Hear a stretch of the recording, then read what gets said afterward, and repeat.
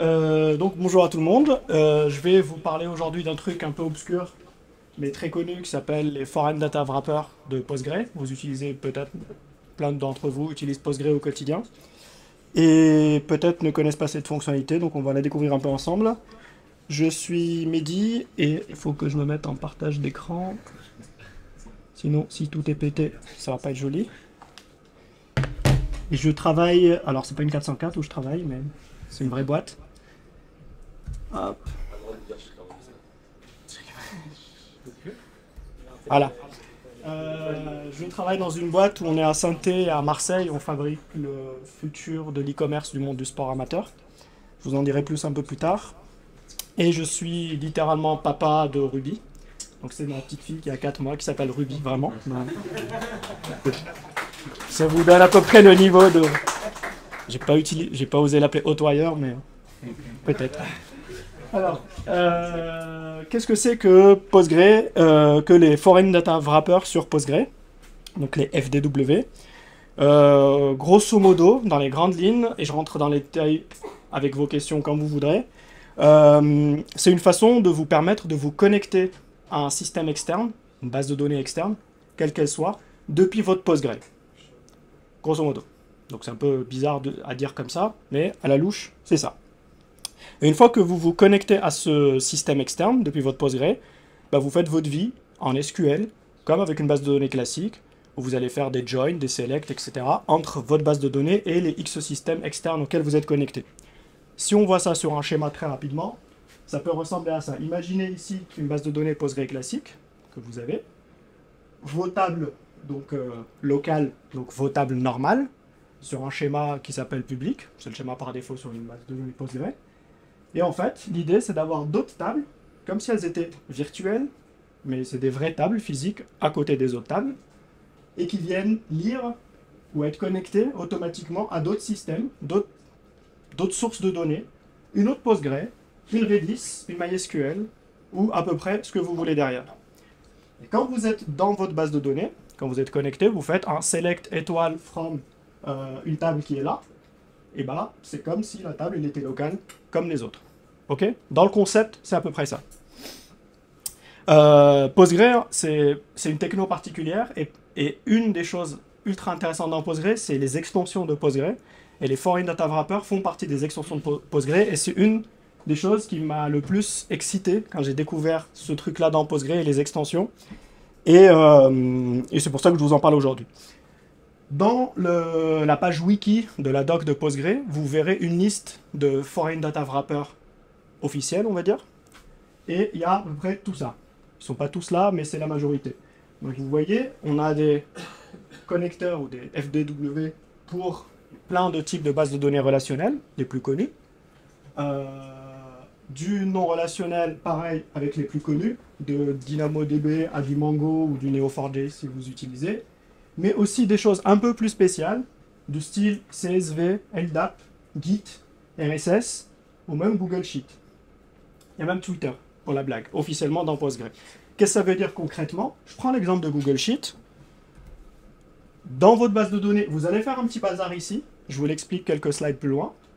Et à la fin, donc ce bazar, il fait quoi? Il va nous permettre de nous connecter avec une API qui a une, Google, a une sheet donnée. Donc, euh, non, ça c'est l'URL de la sheet et la key, elle est, elle donnée enfin, dans, dans file system. Quoi.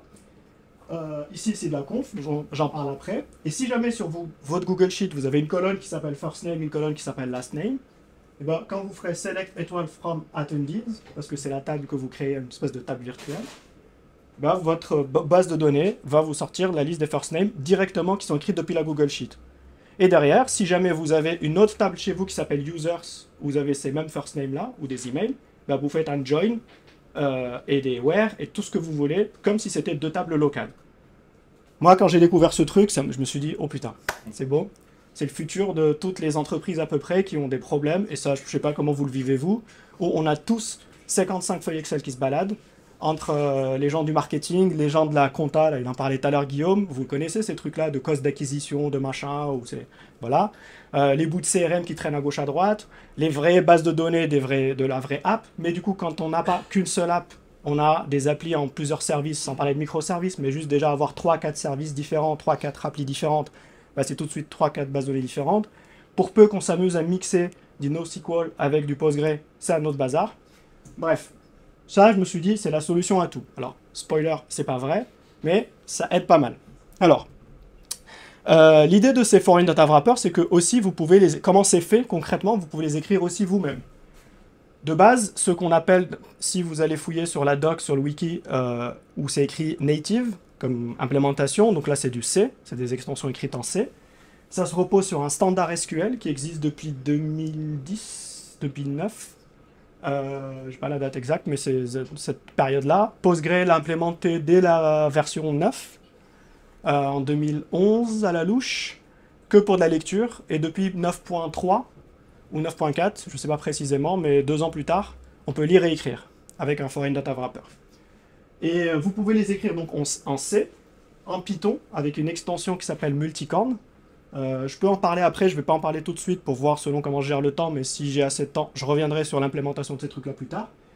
Et notre ami Franck, qui était lyonnais, qui est maintenant aux États-Unis et que certains ici connaissent très bien, avait écrit l'équivalent de Multicorn, qui est écrit en Python, en Ruby, pour permettre d'implémenter un foreign data wrapper en Ruby tout simplement.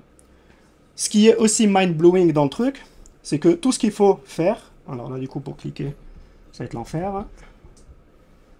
Hop, je vais revenir. Euh, mais on va rien voir du coup. un exemple d'une implémentation. Là, par exemple, c'est pour faire un foreign data wrapper sur Open Weather Map. Il vous faut juste un objet, même pas une classe, un objet qui réponde à new. Donc là, si c'est une classe avec un initialize, c'est très bien. Et vous implémentez dessus each. Et ce each, c'est lui qui va faire le job, quel que soit le job pour aller répondre ligne par ligne. En fait, les foreign data wrapper, du moment que vous répondez avec des lignes de données, donc des tables, ça marche. Et ça peut marcher derrière avec ce qu'on veut. Une API, un truc en C, peu importe, lire un fichier, peu importe. Donc là, c'est un exemple du coup de son implément à lui. Et ici, il en parle bien sur ce repo. C'est super intéressant de comprendre comment il a fait. Et lui-même, il a écrit le foreign data wrapper de Git, où vous pouvez prendre un repo Git et euh, vous amuser à calculer des choses sur votre repo, bah, les top committers, euh, ceux qui font rien, ceux qui bossent les week-ends, etc qu'avec de l'SQL et croiser ça avec d'autres données si vous avez envie. Voilà, hop, je reviens à ma petite presse. Donc, euh, je vais, euh, donc ça, ok, j'ai fait en vitesse lumière. Euh, que veut dire un foreign data wrapper, comment on l'implémente et ceux qui existent dans la nature. Il y en a un en particulier qui est livré native, nativement, par défaut dans n'importe quelle installation de Postgre. Il y en a deux même. Il y a Postgres for une data wrapper et File for une data wrapper. Ceux-là, ils arrivent. Les autres, il faut aller quand même les installer comme des extensions à la main sur vos, sur vos serveurs. Deuxième spoiler, si vous êtes hébergé chez des gens comme Heroku par exemple, vous n'aurez pas assez de droits pour aller installer n'importe quoi comme Foreign Data Wrapper. Mais il y a moyen de moyenner, comme on dit. Parlons de celui-ci particulièrement parce qu'il est intéressant et utilisons-le euh, comme euh, Foreign Data Wrapper et comment, comment ça se représente. Alors, l'idée c'est de quoi? C'est j'ai une Postgre, mais comme j'aime Postgre, eh ben, je vais utiliser une autre Postgre dans ma Postgre. Et quand je fais un select ou un join, ben, en fait, je suis en train de lire quatre Postgre différentes à coup de foreign data wrapper. OK? Première chose à faire, donc là, c'est une requête, euh, enfin, c'est de l'SQL, quoi. J'active l'extension qui est déjà, elle est rien installée, rien à télécharger, elle est déjà prévue dans, le, dans, le, dans ce qui a été installé, les binaires qui ont été installés. Euh, ensuite, on a besoin, ça c'est des choses que vous ferez qu'une seule fois, la première fois, de créer euh, ce qui va s'appeler euh, le serveur remote, donc le serveur qui est foreign. Euh, vous lui donnez un petit nom et vous lui dites qu'il est de type Postgres. Et ici, tout ce qu'il y a dans, ce tableau, dans ce, cet objet options, c'est les options particulières du foreign data wrapper en question. Tout, tout à l'heure sur Google Sheet, on passait une clé d'API et l'ID de la sheet. Ici, on passe autre chose. Et là, vous imaginez bien, je passe bah, tout ce qu'il faut passer pour me connecter à une autre DB. Donc son host, euh, le nom de la DB, euh, le user, le pass, tout ce que vous voulez. Quoi. Très bien. Donc ça, je l'ai fait qu'une seule fois. Je lui ai donné un nom, je l'ai appelé App Database Server ici. Ensuite, on a, ça c'est une étape optionnelle, on peut créer un mapping de user, c'est comme ça que ça s'appelle, entre un user local et un user distant, pour mieux maîtriser les droits d'accès sur qui, a, qui peut lire, qui peut écrire et ainsi de suite. Donc là, je lui dis que le current user avec lequel je suis connecté en fait, pour se connecter à la, donnée, à la base de données distante, il a besoin de ce username et de ce password. Donc ça, ok. Rien de, fou jusqu'à maintenant. Et ensuite vient le, le, moment où, une fois que j'ai setup ça, je vais créer un nouveau, ici ce que je fais, je crée un nouveau schéma dans ma base de données. Vous savez, dans Postgre, vous avez donc un schéma, c'est le schéma qui s'appelle public. En général, dans une API Rails, on n'en a qu'un seul et, et c'est, même, on voit pas le mot public d'ailleurs, je crois, dans, dans, les docs de schéma, tout ça, je sais même pas si c'est écrit quelque part.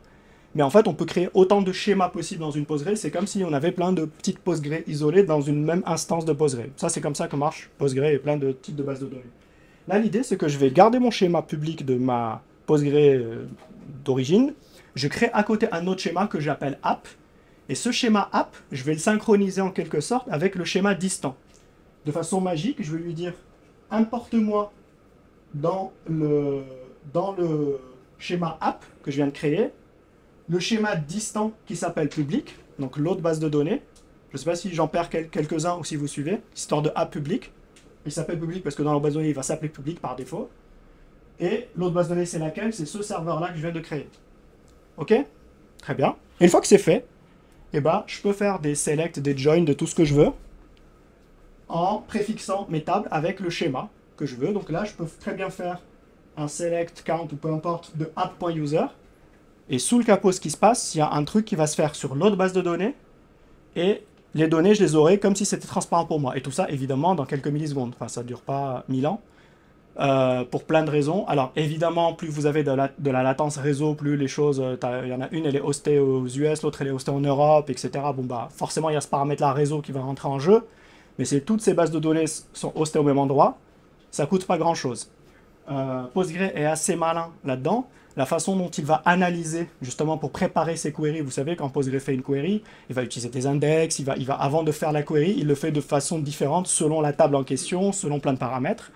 Tout ça fonctionne de la même façon, c'est prévu dans la spec, dans le standard qui est derrière Foreign Data Wrapper. Et donc, euh, par exemple, on parle de push-down. Euh, s'il y a des joins à faire sur le schéma remote, on récupère pas tout pour faire les joins chez nous, on, on les fait là-bas. Postgre va être malin pour faire un bout des joins là-bas, récupérer que ce dont il a besoin et compléter localement. Ok? Ou sinon jouer avec des index, des choses comme ça, etc. Euh, donc euh, voilà. Euh, voilà, c'est tout. et tout ça, donc là par contre je vais super vite je pense, mais j'aurai le temps du coup de revenir, c'est cool. Maintenant qu'on sait tout ça, revenons un peu au use case de qu'est-ce qu'on peut en faire, parce que bon là c'est vraiment un bout de, techno pour un bout de techno, mais dans la vraie vie, à quoi ça peut servir? Ben, En fait, ça peut vous servir pour faire du, pour construire une sorte de data warehouse euh, de façon très light, très simple, où vous considérerez que votre Postgre, c'est elle, ou une Postgre en tout cas, devient votre euh, réceptacle de données unique ou universel dans votre organisation. Et vous foutez tout dedans, parce que vous kiffez Postgre. Et euh, ça veut dire quoi vous mettez tout dedans? Et bien finalement, si vous avez plein de sources de données hétérogènes, et ben à coup de foreign data wrapper ou à coup de autre chose, vous les stockez dans une Postgre. Si vous avez même des données dénormalisées vous pouvez vous en sortir avec Postgre pour stocker du JSON sans problème et le requêter derrière. Alors évidemment, c'est pas très comparable à d'autres choses du style, j'en sais rien, du Snowflake ou ce que vous voulez de, de, sexy. Mais euh, là, on parle de, du data warehouse très light, très simple, que vous pouvez mettre en place chez vous dès le lendemain sans avoir à maintenir ou découvrir 50 technos différentes. Euh, quel, est le fonctionnement classique ou le problème classique? Vous avez en général une base de données, un outil de reporting, pour euh, dire au pif Metabase. Je sais pas si à main levée ici qui utilise euh, Metabase. voilà, donc pas plein, pas, plein de gens du coup. Je m'attendais à plus de gens, mais du coup assez de gens. Mais peu importe, quel que soit l'outil que vous utilisez derrière, qui va lire cette base de données, qui va vous faire du reporting de données ou peu importe. Et en général, comment ça marche? Bah, Vous avez cette base de données, source de vérité, vous faites vos requêtes SQL. SQL, c'est puissant, c'est génial, vous pouvez faire plein de choses avec, et vous avez un outil de reporting. Sauf que dès qu'il y a deux bases de données dans l'histoire, parce que, encore une fois, je reprends l'exemple de tout à l'heure. Mon appli, en fait, c'est pas une mono base de données, mais c'est trois petites applis, trois services différents. Euh, bah, tout de suite, c'est un gros bazar parce que je peux plus faire une enquête SQL euh, qui vont lire trois bases de données différentes et croiser des données. Ok? Euh, Et là-dedans, du coup, qu'est-ce qui existe aujourd'hui Un réflexe de, tout le monde, c'est de dire, eh ben, il faut que je mette ici un ETL pour venir lire des données de toutes ces différentes sources, les transformer au passage s'il faut, les restocker quelque part, et comme ça, après, je peux faire mes requêtes si j'ai envie, ainsi de suite. Et là, bah, on rentre dans d'autres considérations, il y a d'autres... Il y a, comme tout choix techno, bah, il y a plein d'avantages comme il y a aussi plein d'inconvénients, mais en tout cas, c'est la façon de faire standard actuellement si vous avez plusieurs bases de données. Bah, là, l'idée, c'est de considérer que vous avez une base de données au milieu, que vous appelez reporting ou data warehouse ou ce que vous voulez. Euh, elle a son schéma public toujours. Bon là, par contre, il faut avoir des yeux bioniques, mais elle a son schéma public. Et dans l'idée, c'est juste à coup de foreign data wrapper sur d'autres Postgre, si ça c'est des Postgre, alors si c'est pas des Postgre, vous avez du, je sais pas, du Microsoft ou autre chose, ou du Oracle, peu importe. A priori, ça marche aussi. Donc c'est un peu low cost. Euh, vous pouvez les, tous les avoir dans cette base de données sur ces schémas-là. Et à partir de ce moment-là, pour toute la suite, c'est transparent parce que tout est dans la même base de données. Ils vont continuer à faire vos requêtes SQL et vos reporting et vos machins de façon standard. Ok? Euh, voilà, rien de bien, rien de plus. Je pourrais vous montrer, ou je voulais vous montrer à quoi ça peut ressembler euh, dans une vraie vie. Je connais juste deux exemples qui font ça, peut-être vous en connaissez d'autres. Il y a donc la boîte, comme je vous dis, où je bosse, on, a on utilise aussi un métabase. Alors là, par contre, on n'a rien du tout. On utilise un métabase avec euh, tout plein de choses euh, on a nos collections avec nos requêtes et tout ce qu'on a envie de mesurer sur plein de sujets.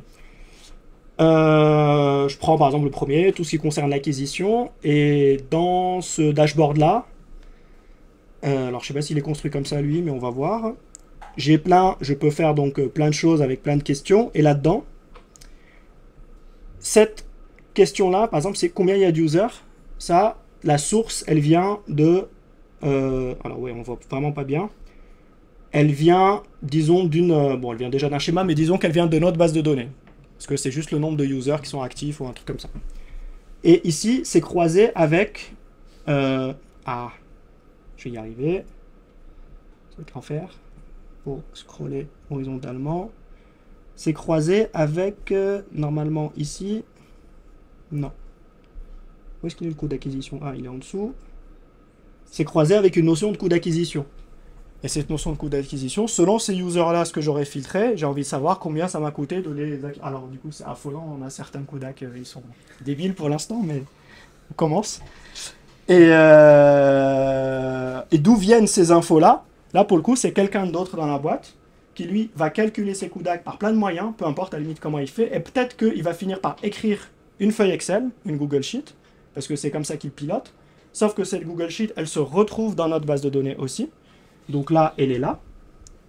Euh, celle-ci, elle est euh, là-dedans. On a un schéma qui va s'appeler quelque part là, euh, celui-là, marketing. Et on se retrouve avec cette table qui s'appelle Facebook. Et en fait, ça, c'est littéralement une Google Sheet qui a été récupérée grâce à une API. je ne rentre pas dans les détails de est-ce que c'est en live, est-ce que c'est matérialisé quelque part dans une vue, est-ce que ça on peut faire tout ce qu'on veut après. Mais en tout cas, on a ces données-là, et à partir de ces données-là, bah, du coup, je peux faire des joins et voir le user où est-ce qu'elle est sa source, et croiser avec les coûts d'acte qui sont écrits ici avec des salaires, des, des coûts qu'on paye à Facebook, et ainsi de suite. Donc ça, c'est ce genre de... Ce genre de...